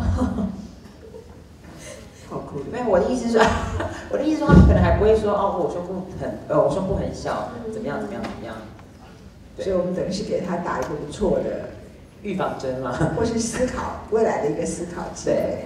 因为我自己也很热爱时尚，所以我知道说平胸真的穿衣服其实看起来真的很时髦，所以我有一阵子为了想把我的胸部看少一点，我就都不穿内衣，大概是大学的时候吧，对，然后现在可以看我有点紧张，就是你就是想说，哎，不穿的话，可能大家就不会注意到这一块，或是说你衣服不会说有一个曲线凹凸不平。对，但我觉得渐渐开始长大之后，或是出社会之后，我觉得我越来越喜欢自己的身体，或越来越喜欢自己。对，所以我也不会因为说，我不会因为说，哎，今天想要卖弄这个身材，然后这里穿的比较少，或穿的比较多，我选择我今天想要穿的衣服。对，所以有时候大家可能看我说，哎，今天包很多，像一棵伦敦的圣诞树。那为了一些 party 的场合，我可能会穿的像女王这样，然后去展现我的身材。呃，是没有啊，老公可能会生气，但就是你知道，只要穿平口的，看起来就会很明显。那就像你刚刚讲的，大家其实不会去看你的衣服，大家看的是你的事业线。对我的事业线，对。所以我还是会有时候会隐藏一下，我怕大家你知道焦点放错。那人家放焦点放你的脸上，为什么你不害羞？为什么上你事业线你要害羞？这是很奇怪的事。我这样讲话有道理吗？没有。哎 哎，有道理。讲错了，我用英文的思考去讲的，不好意思。OK，没问题。可其实我觉得，嗯，还是社会太物化女性了，就是大家真的我觉得你自己也太物化自己，因为你会觉得说我展现出来，别人看我我会不好意思，所以我不敢展现出来哎，。我现在六十二岁，我还会穿低胸衣服，人家看我什么，我从来都不知道，我完全不知道。嗯嗯，直到别人说，我就说有这件事吗？我更不知道。对，所以我现在也克服我的逻辑很简单，因为我整个脖子是会过敏的啊，我是一个免疫系统 容易着凉的人不是我我不会着凉，因为我这里永远是热腾腾的。因为免疫系统最重要的攻击的地方，平常它不需要特别发病，平常就是脖子，在你的甲状腺这里，所以我 anytime 我的脖子的温度都跟身体其他地方温度都不一样，所以我绝对不能穿有领子、高领的衣服。那你就要穿低一点领子，然后一不小心你就会露事业线。那也不需要小不小心，我就至少我这样比较不会过敏，而且我觉得很舒坦，看起来 I think it's comfortable and beautiful. Why not? 而且我到现在六十二岁，完全没有长皱。我的最好的地方就是 my shoulder. Why not? 你为什么要害羞？我们今天好网红题目偏掉了，OK，好，谢谢。平，有人应该特别去开一个跟平胸有关的这个 marketing，叫时尚行销，平胸的时尚行销，适合平胸穿的衣服，适合丰满穿的衣服，你不觉得吗？两个不同哈，乖乖，我们回来谈一下，不谈那个身体的自信，回到主题来说哈。就是我们刚才历经了几番的讨论，那当然有办法说我们是谈这个身体的舆论问题，就是舆论跟你身体之间的关系，社会眼光跟你身体的关系，社会眼光也会跟你的网红经济有关系。然后现在不走网络营销似乎是很困难，但是你又要做实体商店，因为东西卖的有点贵，所以在网络上你用什么方法处理你的品牌形象？其实我们经营，呃，毕竟我们经营，呃，议题时尚的这个比较偏议题性的品牌，所以，呃，我们在当初我在呃 US 呃在伦敦修硕士的时候，主要是钻研永续时尚。虽然我是念时尚管理，但是我们我的那个教授本身就是钻研在永续时尚里面，所以花了一整年的时间在研究这个话题。但我发觉你回到台湾，大家不太知道这个议题的时候，但你不能怪国人，因为大家就是没有这个消息进到中文的界面里面，所以我们花了大概两年时间，不停的在翻译这些文章，呃，整整合国外的文章到台湾台湾来，那你就会发觉，这就是有点像我们这种议题操作的品牌可以做的了。等于我不是正在卖商品，我先告诉大家我的资讯是什么。然后你的呃生活里面可以参与到怎么样子的永续时尚，所以在我们的官网上面，我们有比如说时尚购物的一个购物指南，什么叫做永续时尚，应该要怎么购物会比较好的一个建议方式等等的。那等于说我们的牌子就是其中一个解决之道之一这样子，所以我们操作的方式比较不一样，就会比较偏议题内容方面的一个方式。好，乖乖很棒哈。那我想提一个你曾经可能没有想过的一个概念，是我最近看到一个报道，我看到哇，That's great。当然我是因为刚好如此了啊。你知道染头发也是世界很大的水的污染源吗？一定的吧，你想想看，它那么多的化学物质，对不对？然后那么多人。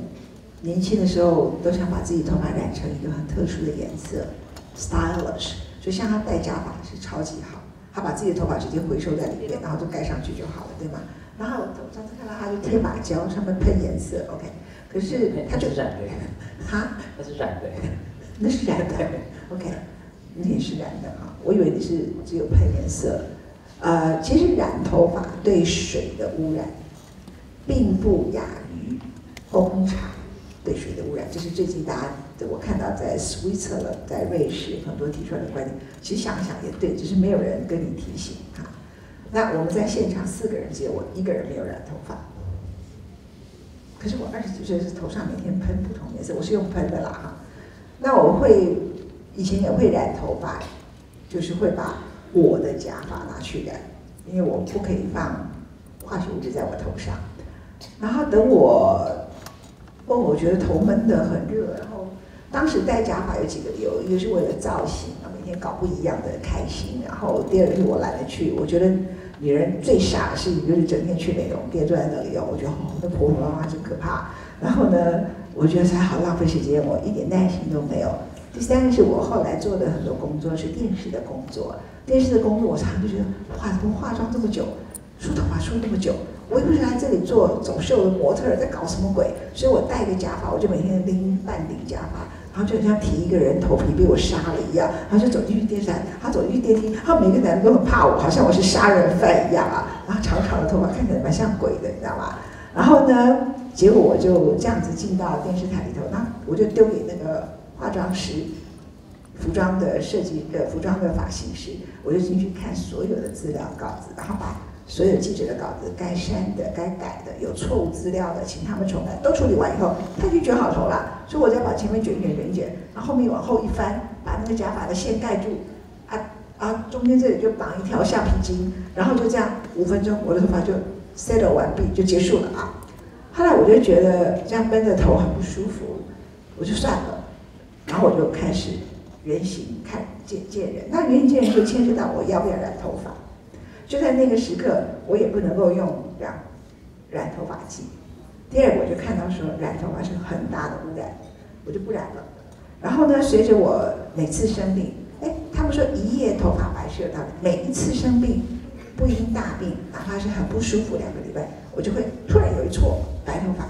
就在上个礼拜，我的免疫系统攻击我的肺，然后我就一个礼拜之内，我头发就跑出这里一撮，没错我超爽的，因为它看起来就很像很棒的 stylish，你不觉得很有 style？然后我就那天在礼拜六的时候，我就跟我们电视台说，哎，你有没有觉得我现在头发白的超好看？根本就不要染头发。说对对对，你绝对不要去，去了你就跟其他人一样粗粗气气的，你都不要。所以到了一个年龄，不要染头发，还成为勇气。所以我很开心。我二十几岁的时候，没有人敢染头发，我喷了五颜六色，把大家吓坏了。我到老的时候，大家都染头发，只有我这样白发到处这样见人，然后根本就毫无所谓，还觉得自己很时尚。然后我现在提出一个观点，跟随着刚才冠白所说的，其实染头发是一个很大的污染源。年轻人想展现自己，喷一喷其实已经够污染大家，还要去染。那个染的时候，你看染三个钟头、四个钟头、五个钟头，哎呦，人生都被你浪费光了。然后隔一段时间再去染，然后你想让它洗染的过程，后洗掉那个水有多脏啊？那么多头，我们在现场就多少个头加起来，这地下水就被你污染多少？然后全世界的头都在那边染来染去，除了婴儿没有染头发，大家都在染头发。哎，提出这个概念来，每个人回应一下，从你开始。怎么回？我自己本身有染了，因为我头发很多，不染的话会很重，然后会变得很土。但是我一直像刚刚，我其实想要补充的是，我从小其实不是是蛮自卑的，我有老二心态，就是身为第二个女儿都会跟老大。你下次话给我讲快一点，真的是吓死我了。老二心态，对。老二心态就是说，老大跟老二比，对对对对，所以我屁股很大，然后呃皮肤黑，然后头发很多很硬，我就很自卑。我觉得为什么屁股要这么大？为什么妈把我剪屁股生的又圆又翘，我什么都没有？后来到了国外，我有国中就出国了，我就看到，哎，其实外国人他爱屁股大，男人第一眼看，有些人是看屁股，不然就是小腿。再来，白人他很期盼着有个黑皮肤，他期盼着有个很多发量的头发。那其实我就都达到这些这些要求，所以我到大大学反而变得比较有自信。我就觉得这其实人都是这样，白人就是这样，他很白，他就偏偏要每天去晒太阳，他变黑。然后亚洲人皮肤变偏黄，就是很想要拼拼命的变白。我觉得到最后可能就是要自我肯定，给自己点信心，知道自己的优缺点在哪里。就像刚刚有提到说，其实缺点它到最后也可以变成一个优点。但我还是会继续染头发，这是有一点我我还没有办法控制自己的，因为染头发这个头发我整体会比较好看一些。有，但我觉得那个应该是国情不同，所以就跟。你刚讲的好像有点出入了，是这样子觉得。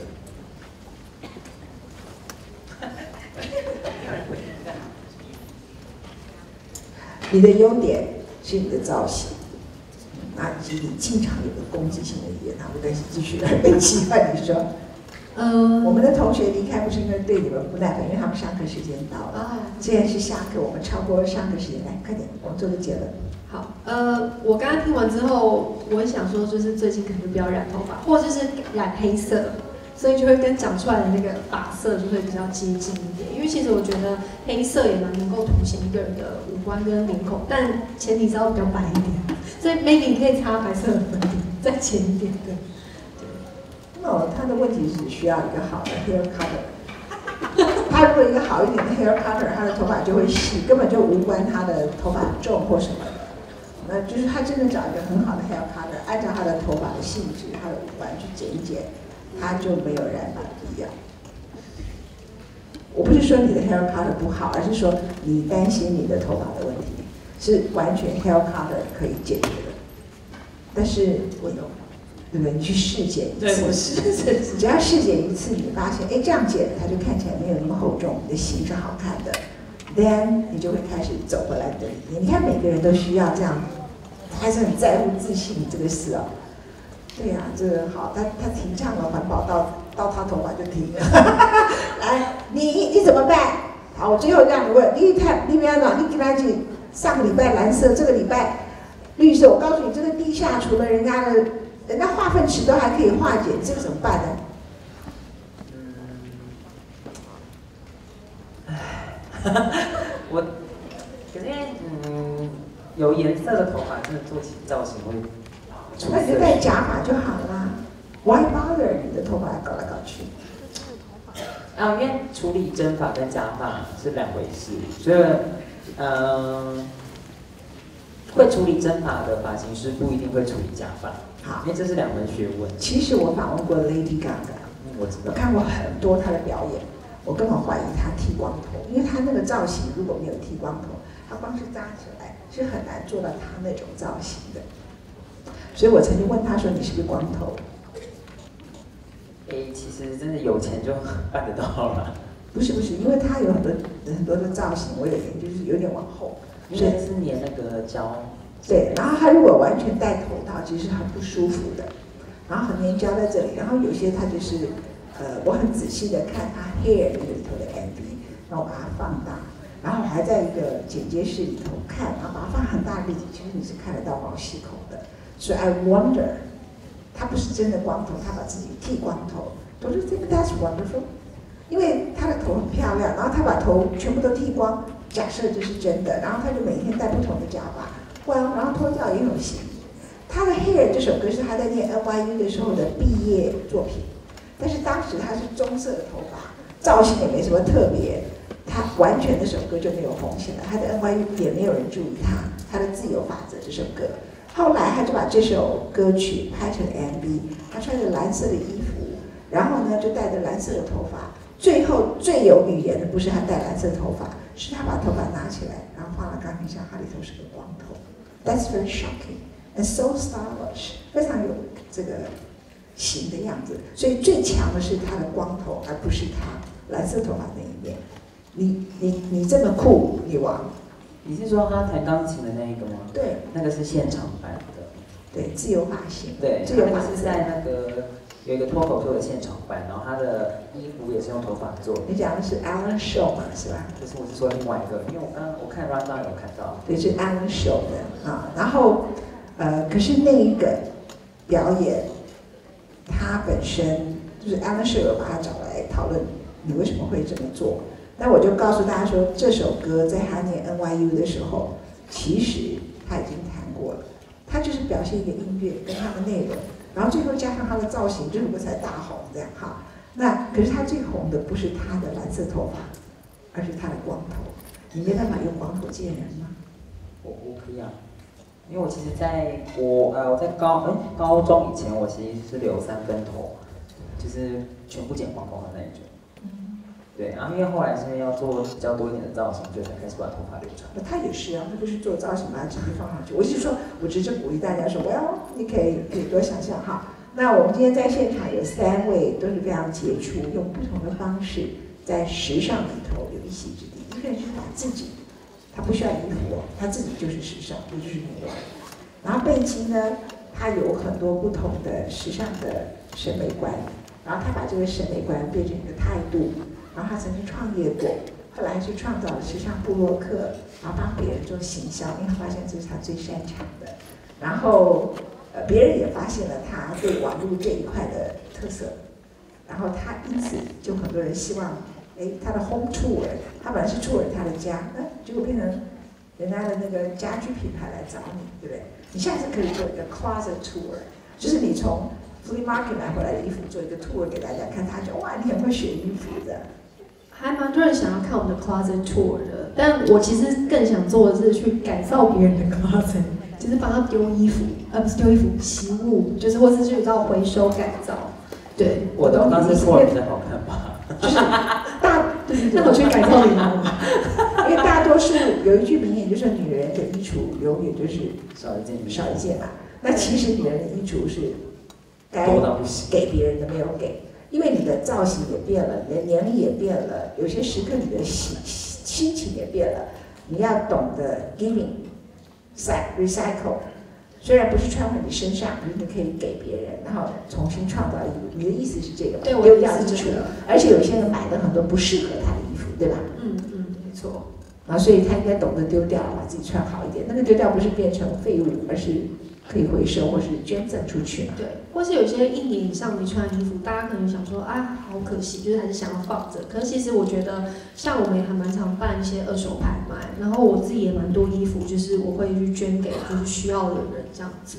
对啊，我觉得，而且很多人看到我的衣橱，我们其实，在 home tour 的时候，我小小瞥到一下我们的 closet，大家都说比想象中就是少衣服真的很少。嗯，对对对，来，快把做做做一个 conclusion，做一个结论哈。呃，走在时尚这条产业上，而且你还坚守在台湾，你从来没有想过，因为我看过很多人，他就觉得他去伦敦做秀啊，去哪里做秀啊，去上海开这个店嘛。啊上海就是很多人认为是亚洲的时尚的中心，那呃，或是有些人会开到新加坡去，因为新加坡有各地不同的华人会聚集在那里哈。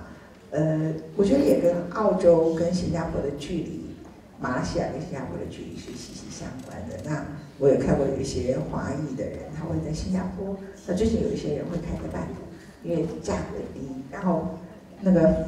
呃，不是衣服的价格低，而是那个地方的观光客非常多，然后它的店面的价格是相对比较低的，对吗？哈，那你很少想要拓展店，将来会不会？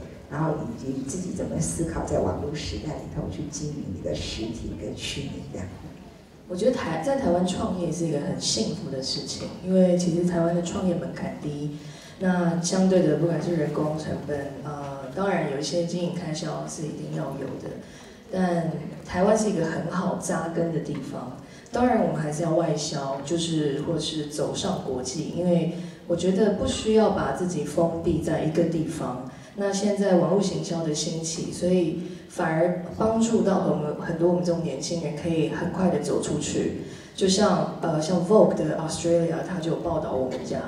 那为什么他可以报道？就是因为就是这么的很快速的可以把资讯传播出去。那我很开心，他报道时是说我们是一个台湾的 denim brand，然后这样子，因为台湾有好多这种软实力，到最后大家就可以看到，哎，台湾这个地方，那台湾可以以台湾扎根，台湾有这么多优秀的年轻人，这么富有创意性的想法，那执行力上面来讲，台湾小，所以你不管要做怎么样的呃送货啦、执行啊、纺织厂，其实台湾台北到桃园也那么近。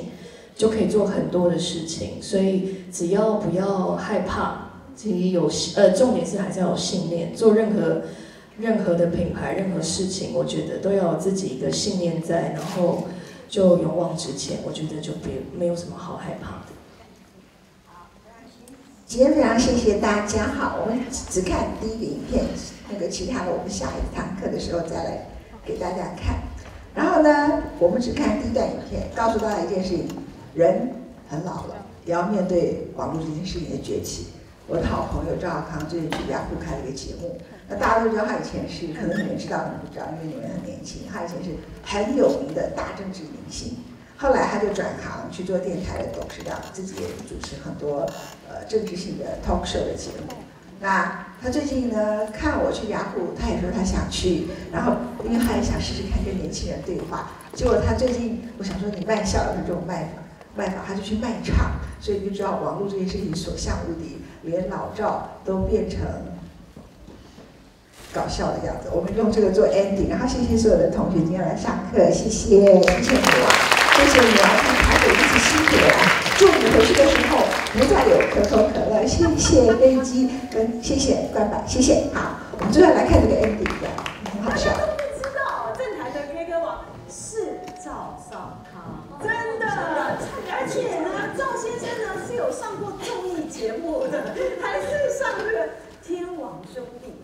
龙兄虎弟张飞费玉清的节目有现场的，是真的。唱两句，唱两句，为什么笑得这么诡异？可见他有多老，还龙凤龙兄谁记得那个节目的？还卡拉 OK，你看这个人，即使要卖唱也唱那么老的。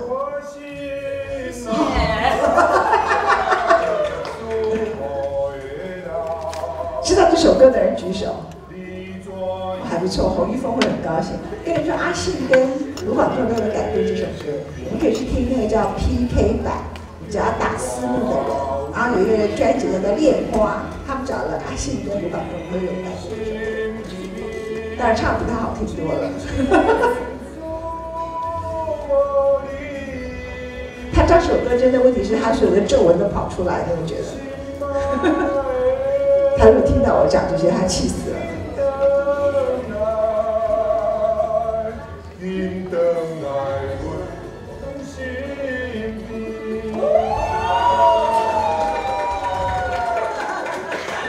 这就是所有人为了适应网络时代，和我笑了他们说，电影卖唱的时候，我们跟你讲，他卖唱的时候，全部皱纹都出来，本来不知道你这么老，然后就发现你这么老。第二，你又跳了那么老的歌，你不会挑一首最近卢广仲的《喜呀》，或者是至少弄一个叫做什么呃米拉仔啊，人家还会觉得对你这个人刮目相看啊，会跳起来这么老的歌，什么叫喜呀？我说偶尔了，不是一样。好，谢谢各位，再见。